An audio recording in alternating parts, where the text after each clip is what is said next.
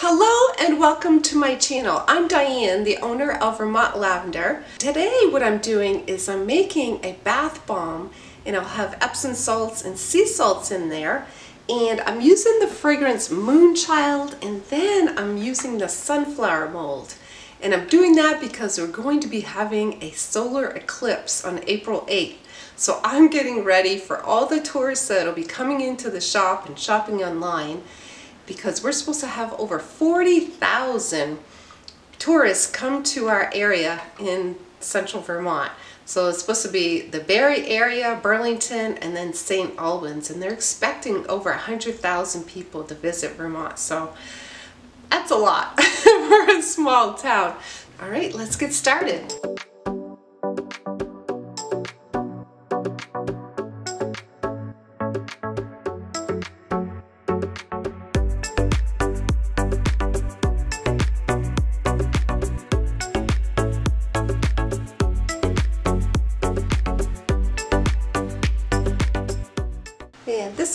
Colored Epsom salts. So I'm making a muscle soaking bath bomb.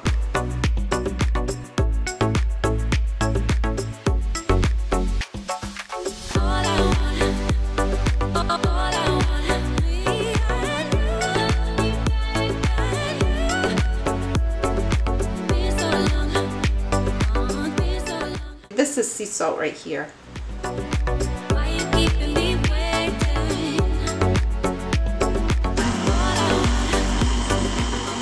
Add my SLSA.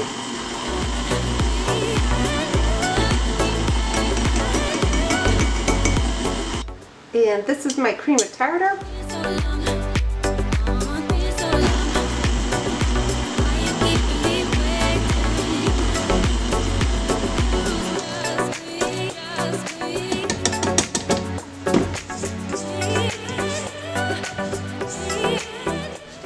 And then I'm adding some evening primrose extract.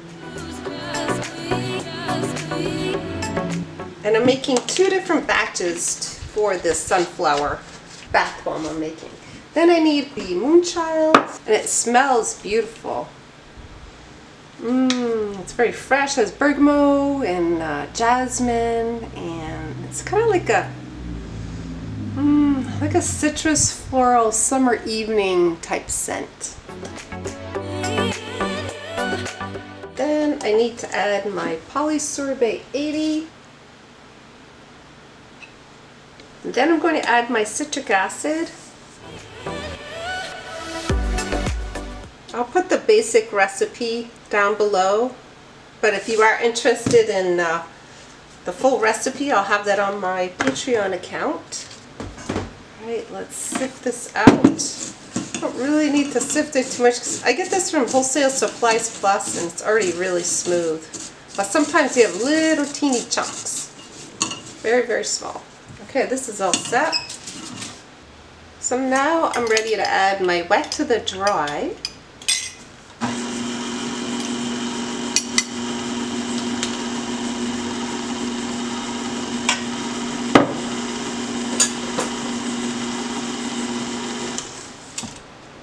Just make sure that's nice and incorporated. So this is the white, this will be the middle, and then I'll make another batch, and um, that will be the outside. So what I'd like to do is have it kind of like spin in the bathtub, so that'd be pretty cool. So now I'm all set to add my citric acid.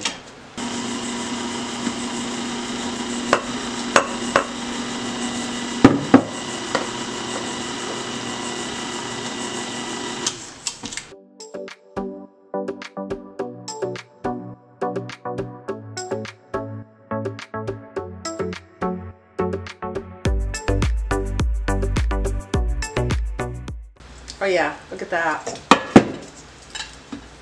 Breaks apart. Squeeze it. Bam. There we go. Perfect. Alright, I'm going to put this in a different bowl and then make the next batch. So for my colors, what I'm going to do for the rays on the outside of it is I'm going to have the Racing Stripe Orange. I'm going to mix that with some Copper Sparkle Mica. And And then a little bit of this uh, raspberry red. And that's what that looks like there. So I think if I make this combination it might work. We'll see. And then I have some salts that I'm going to put in there and these are some salts I made earlier and I have a video on that if you want to watch that after this one. And then this is the, um, the outside of it. So it has a little bit of the red and the gold to make the fiery outside of the sun. So add a little bit of orange.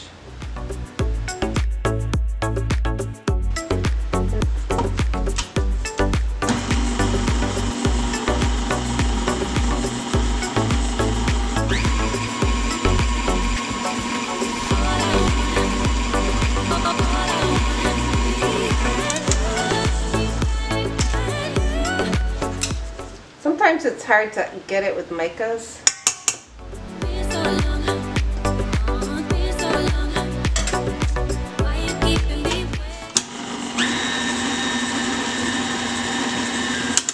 Not too bad.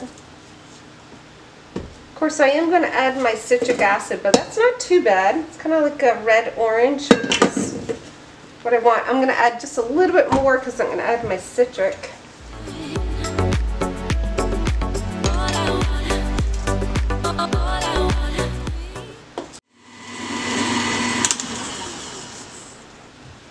Okay, now I'm going to add my citric acid.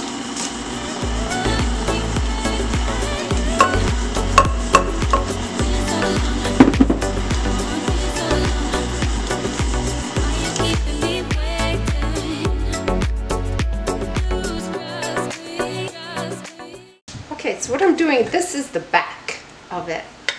And then this is the imprint of the front. So I'm just adding, my mixture is really, really wet. So I'm just adding a little bit here in the center. Might have to add more as I get going because I have quite a bit of this orange, orangey red. This color came out really nice.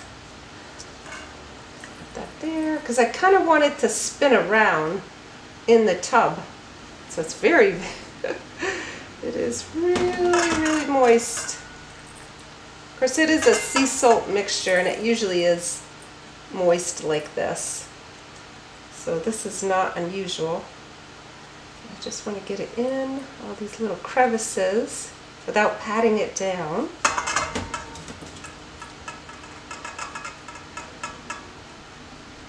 Alright, and then I have my little salt mixture. I'm just going to put it on the edges.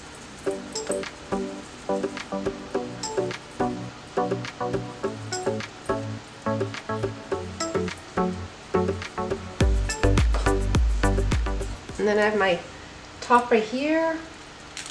Push that right in.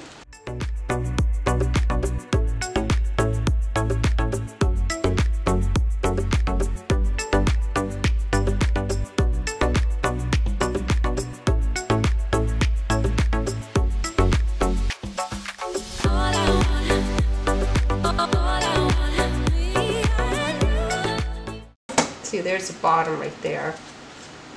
Just press up like this. So as I mentioned earlier, I'm getting ready for the solar eclipse and oh, the scent is just beautiful.